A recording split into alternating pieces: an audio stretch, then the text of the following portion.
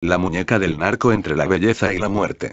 Llegó a ser una de las mujeres más buscadas de Estados Unidos y también se le tendría como una de las mujeres de interés amoroso para Joaquín El Chapo Guzmán. Estados Unidos, no solo por su historia pasó a ser una de las mujeres más buscadas de Estados Unidos, sino que desde su captura en 2015 en Chihuahua los hechos de su captura y sus antecedentes causarían revuelo.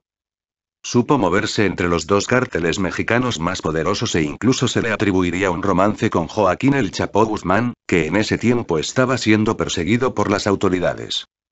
Su nombre real es Ana María Hernández Ledezma alias La Muñeca sería nombrada por la revista Maxim, conocida publicación de contenido para caballeros, la nombraría la narcotraficante más sexy del mundo y la historia de su alias dio cuenta de que al ser procesada, en su ficha judicial y teniendo los ojos cubiertos, los rasgos faciales de su cara se asemejaban concretamente a los de una muñeca de juguete.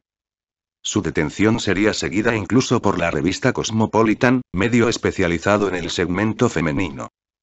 Un tribunal del Paso, en el distrito oeste de Texas, la hizo miembro de una lista de los más buscados de los dos países en el año 2013 cuando fue encontrada culpable por tráfico de drogas y por ayudar a dar pie al soborno de un oficial público. Su caso, con nombre 310 CR 01717 DB también sería conocido después de los cargos que se le impusieron. Un conocido cuerpo de alguaciles sus marshals también fue tras su pista. Los pormenores de su historia transcurren en el mundo del narco, entre los cárteles de los Juárez y de Sinaloa.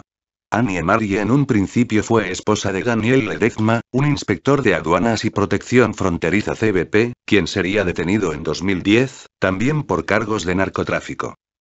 Ledezma recibía sobornos de traficantes del cártel de Juárez a quienes les informaba cuándo y por dónde podían pasar cargamentos de droga. Su esposa presuntamente recibía la información de los integrantes de la organización con los datos sobre los cruces que pensaban realizar, consultaba con Ledezma y les respondía por cuál línea de la frontera podrían cruzar para evitar cualquier revisión.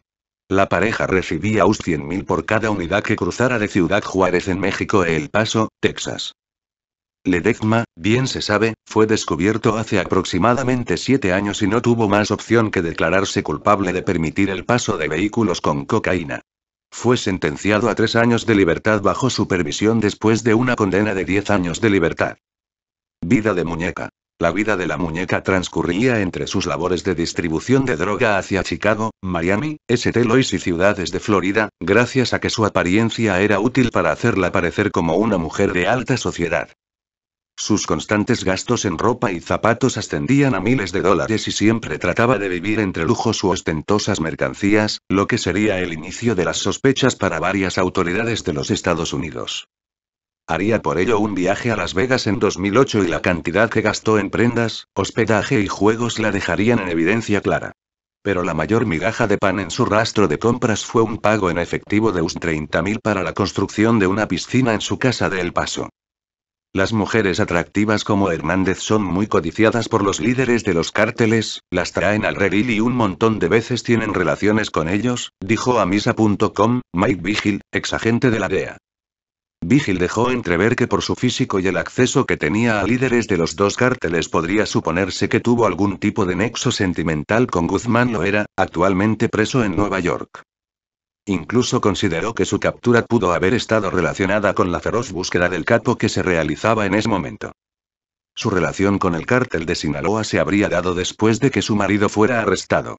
Sin embargo, las autoridades mexicanas siempre la han ligado al cártel de Juárez, como consta en el comunicado emitido luego de su detención, el 26 de octubre de 2015, después de que fue internada en una cárcel mexicana cuyo nombre nunca se dio a conocer. Su captura, según revelaron las autoridades de México, se dio después de un seguimiento por distintas ciudades de la frontera.